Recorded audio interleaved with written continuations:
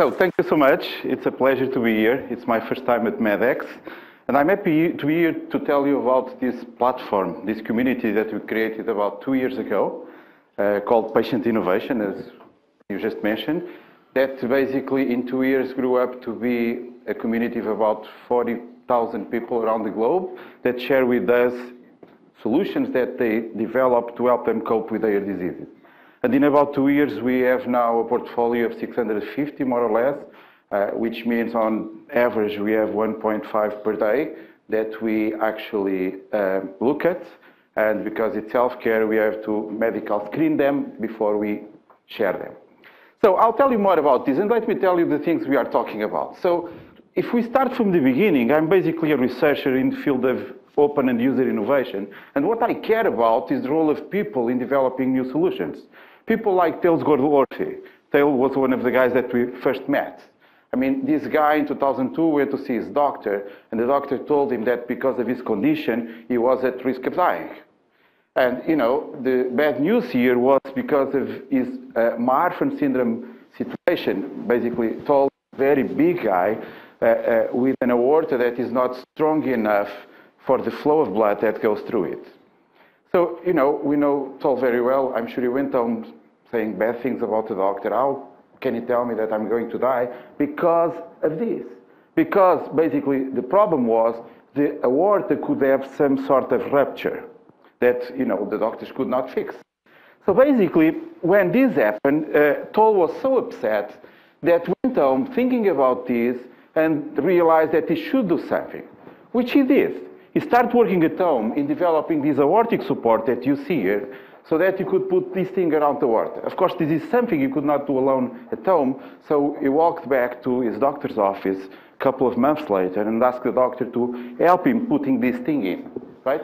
I don't recommend that you do this stuff at all. So there we go. In 2004, he convinced the doctor to actually put this thing in, and here we are, 12 years later. And not only Tal is alive, but in fact, he saved his own life and the life of 60, sorry, 76 other people that have received the same aortic support. So, I mean, as a researcher in the field of user innovation, when I found this, I was intrigued.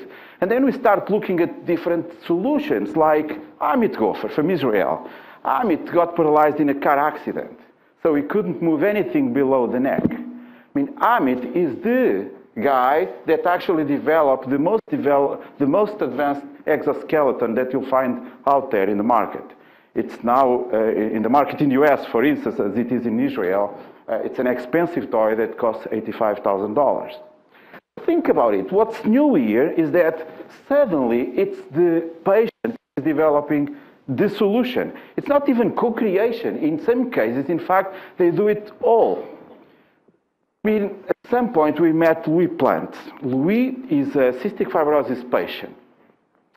Uh, you probably know a bit about this condition. It's complicated, but one of the problems is that they need to clean their lungs in a way uh, that it's not very sophisticated. At the time, most of the solutions that were out there to clean the lungs were based on the so-called ketchup bottle principle. So how do you take the ketchup out of the bottle? You know, you shake it, you clap it, you turn it upside down. That's exactly what we did to kids for a long time, right? It's really bad. It tells me, you know, we have no idea how bad it is because, of course, these uh, patients are, are, are, patients, which means sometimes their body is hurting. At some point, after a lung transplant, he was really in a bad condition and he was, uh, you know, having the need of doing this four hours per day, four treatments of one hour every day. And he tells me it's really excruciating. It hurts so much that it's really, really bad. And what happened to him was really interesting because one day he went to a concert. And in this concert, he realized that when the musicians played, he would start coughing. And then the musician stopped playing and he would stop coughing. Hmm. And he thought this was interesting. Actually, it was embarrassing at the same time because this was classical music. And in a concert, we are supposed to be silent. And you know, Louis basically says people start giving weird looks, and uh, uh, things got even worse because as the, the of the music increased, you know, uh, I start coughing more, and suddenly uh, at the break, I was absolutely fine. And people were looking at me saying, you know, it's the break. Now we expect you to be doing all the coughing, and you are fine. Uh, you know, uh, after the break, the thing got even worse because, uh, again, he had to leave the concert with a huge crisis of expectoration. And he went on thinking about this to realize that this was happening because he was sitting in front of the speakers. What was going on was that the speakers were actually sending the music vibrations towards his lungs, shaking the entire body, including the lungs, therefore creating this discomfort. So this was actually bad, but it was good at the same time because, you know, shaking the lungs and losing the mucus from the lungs, it's exactly what he needs to do every day. So at home, he started thinking about this and realized that he could give it a try and try if uh, using speakers would work for him. So he would put speakers in front of the lungs and now control the type of music that in fact would work better for him. He even tells that in fact he realized that the type of music that works better for this, it's not music that he really likes to hear, which means he decided that he could try to cut the sound and just leave the vibrations. You know, making a long story short, Louis developed the frequencer, the solution that you see here, and basically it's one of the solutions that patients of cystic fibrosis can use now to clear the lungs. Again, what's new here? I mean, what's new here is that it's a very interesting technology that was developed by a patient, right? And when in asked by other solutions for this in a review to a paper, we went out there and found a lot of interesting solutions that doctors were recommending to their patients. And then we concluded that many of those had indeed been developed by the patients themselves or sometimes by the caregivers. And I'll explain what that means in a second. You know, sometimes it's the mother that actually sees that jumping in trampolines, it's a good idea for a kid. Or here, David Day from the UK developed this game for her daughter to actually uh, play games, computer games, and instead of um, uh, using the mouse, he, she uses a system that he developed uh, so that she controls the computer by blowing into this thing.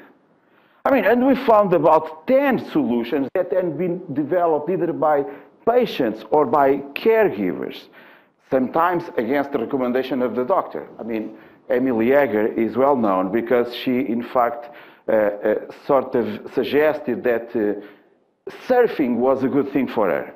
And of course, you know, surfing is something that doctors don't recommend to patients of cystic fibrosis. But the story goes like this. You know, she's from Australia. She was uh, doing really bad uh, at some point when uh, all the 24 medicines that she was taking every day were not really helping her much. And she decided that she would uh, go back and do surfing, something that her doctor told her not to do. She realized that while surfing, she was actually very comfortable. So at some point, she finally said this to her doctor. And basically, uh, he realized that it made a lot of sense because what was going on was that the salted water plus the vibration were helping her clean the airways. So he actually became famous because he published a paper at the New England Journal of Medicine su suggesting the use of saline waters for cleaning the airways.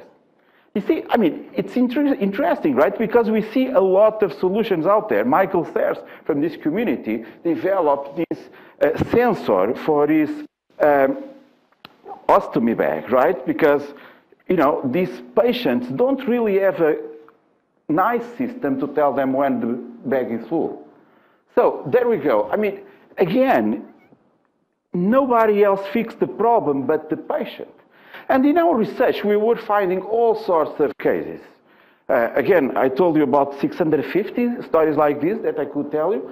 Uh, sometimes from the patients, other times from the caregivers. Caregivers like uh, father. You know, when Keely had to do chemotherapy, her father realized that she would need to be stuck to one of these supports that, of course, they use in hospitals. Uh, this is actually not very nice for, for these kids. So he realized that maybe he could instead of having a support like this, adapt this to a backpack so that now she could walk around and do her treatment, of course, with some, some more freedom than she used to have. Or, or, or Debbie, Debbie from Israel, this, is the mother of a kid with cerebral palsy. Uh, you know, it's a complicated problem, but one of the things is that when these kids are supposed to stand, stand up and walk, they simply don't have the muscles, the energy, the motivation to do that. So she developed this system, this device that attaches her son to the foot and then to the rest of the body. It's sort of like a jacket that they wear now the kids can actually walk. I mean, we found a lot of examples everywhere and also in Portugal. For instance, this is a very simple case we found in my country uh, where Joaquina, uh, the mother of a kid with Angelman syndrome, again, a complicated disease that, among other problems, has this thing that when kids are supposed to stand up and walk, they simply don't do it. And, you know, Gonzalo, her son, was already seven years and he couldn't walk. And she was really worried because she was trying all sorts of things from the medical system solutions to her own solutions. Nothing seemed to work. And one Saturday afternoon, she went to a party, to a birthday party, where there were a lot of helium balloons like the ones that you see here. And to her surprise, you know, her son got all excited and started jumping to get the balloons. And when she saw that, she realized, wow, I mean, I have a simple solution here, which is let me go and buy balloons. So she went shopping, right? She didn't even spend a lot of money. She bought about 100 balloons, and she spread the balloons around, her house. Now the balloons were floating around. And the next thing she did was to, you know, let the kid go on. And shortly after, you know, first the kid was super tired, jumping from balloon to balloon. Shortly after, she realized that her son was finally walking. You see, when we start sharing this solution in my talks, we start getting a lot of feedback from people that would tell me, look, that's so interesting, thanks for sharing, because, you know, my son has the same disease or a different disease, and in fact, I realized that this works. So there was what we call a diffusion problem. And we know this from innovation. Quite often, you know, innovation does not reach people, right? I mean, what we found out in one of the papers that we did with Eric Van at MIT and a few doctors in Portugal was this paper in which we surveyed 500 patients in Portugal. These were in fact rare disease patients. We called them, we asked them if they had ever developed anything new. And in fact, a very big percentage said yes. In fact, it was 36%, 28 plus 8. We were like, wow, that's a lot. So let's not go so fast. So what we did afterwards was to have a team of medical doctors to actually look at the solutions. And what in fact we found was that 28% of those solutions that the patients thought were new were not really new to the doctors. Even if they were good, they were not new to the doctors. But still, 8%, which means 40 out of 500 randomly picked patients in a patient association in Portugal had developed something that, according to our literature, is considered new to the world. Think about it. It's huge, right? 8%, it's huge because innovation is relatively rare. If 8% of the patients out there, in fact, develop something new, suddenly we are talking about, we are talking about a big phenomenon. I mean, what else did we find? We found that these solutions, in fact, were contributing very significantly to the quality of life of these patients or caregivers. In a five-point scale, we realized that the quality of life of patients was increasing two points, and the quality of life of caregivers was increasing 1.9 points. So this was very relevant. What was the problem? I mean, the problem is that these solutions were not going anywhere basically only 5% of the patients were even actually patients that had developed solutions that were new to the world. Only 5% had shared these solutions with their doctors. 5%. Almost nothing, right? So there's a diffusion problem that we mentioned before. And what we thought is that we could probably try to help fix the problem. I mean, this was going to be mostly a research experiment when we decided to create a platform out there for people to share what they did. We called it Patient Innovation, and we launched it two and a half years ago, more or less. And this is what happened. It, I told you about 650, and that's because, in fact, we have approved only about 50% of the solutions. Uh, we have now about 650 medically approved solutions. When I say medically approved, I need to be careful here. It's medically screened. We developed a protocol. Of course, we are not talking about clinical trials. It's just that we don't deal at the moment with drugs, topic products, things that you have to eat or drink. We cannot deal with that. So it's mostly uh, devices or techniques for people to cope with their disease. This has been the growth rate. We have now solutions from over 40 countries. In fact, um, the US is the main contributor, followed by Portugal, England, Brazil, and, and Australia. And it makes sense that these are the top five because in the beginning the platform was only available only in Portuguese and English. Now we have increased the number of languages and we see Germany coming six, Israel, etc., etc. So uh, this is what happened in the past uh, uh, two years. And we were also surprised by something that certainly does not surprise this community, with the amount of makers that in fact start collaborating in our project. People like Ivan Owen. I mean, you probably have heard about this man that at some point, uh, for his job, he's a puppeteer from Seattle, developed this end that you see here. And he put that on a YouTube file, right?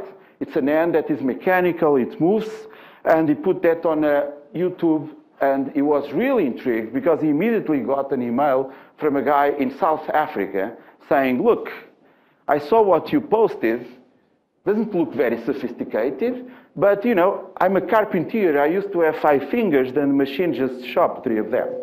And it's not nice, you see, I wanted to have a real prosthetic, but I cannot afford one. The thing you did looks really cheap. I could probably have one of those, in particular if you help me doing one that I can wear. And there we go. I mean, Ivan started helping uh, Richard Van As and developing uh, a prosthetic for him. He then found us, uh, and this is just a picture of Nuno, a Portuguese guy that in fact had this prosthetic that was developed by us in my office during the weekend. And you know, this prosthetic costs now about 18 euros, what, $25 at most? That's the cost in terms of materials of doing something like this. So, uh, how can we do something like this? Well, we can do something like this because certainly uh, makers from different parts of the globe are sharing the code. And if you have a local printer, if you have the problem, the, the, the local problem, uh, you can certainly adapt uh, uh, the, the, the, solution to a kid. So this is Nuno, and we have seen a lot of that in our platform too, which to some extent has been surprising. This is uh, our team when we produced him, uh, when we produced the, the, the prosthetic. This is me doing arm wrestling with Nuno, which I won. Uh, and you know, lots of good things have happened to us. Uh, for instance, at some point, United Nations called us they invited us to a meeting in New York saying we are very excited about this project. It's something they posted on their website. Or we participated in this competition at Harvard in which we got more votes than any other of the seven, 475 projects that participated as well. Uh, it was very nice because we were the only non-US project that was semi-finalist. And if I want to brag, if, if you allow me to brag a little bit, we, in fact, we got five times more votes than the second project got, that got more votes. We've got 26,000 votes, which was nice. You know, the European Commission in Europe called us a startup to follow. And this is interesting because we are not even a startup. We are just a non-profit project, uh, and we don't intend to sell any of these things you know, other nice things have happened to us, like this exhibition that the Science Museum in London is doing now about our project. Uh, this was last summer, last Christmas, sorry, when they called us and said, you know, we would like to do an exhibition about you. And that was nice on one side, but then they said, you know, it's about your innovations and the nice thing is that this is going to be in London, and it's also going to travel to 29 countries across Europe. In fact, we are opening today, as we speak, uh, in, in Luxembourg. Uh, so this is going to be very nice for increasing the visibility of our project in Europe. Other nice things is that we recently were at the World Government Summit, which was very good again to increase the visibility of the, of the, of the project. I mean, media coverage has been nice in some countries. In Africa, where people are excited because uh, it seems that we are helping some countries already meet the sustainable development goals according to some authors.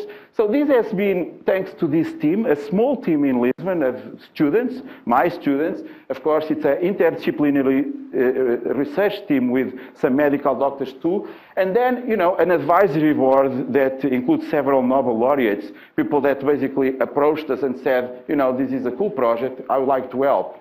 And that's how we could get uh, uh, some of these people on board. I mean, according to my mentor, Eric Van at MIT, what we are doing here makes a lot of sense.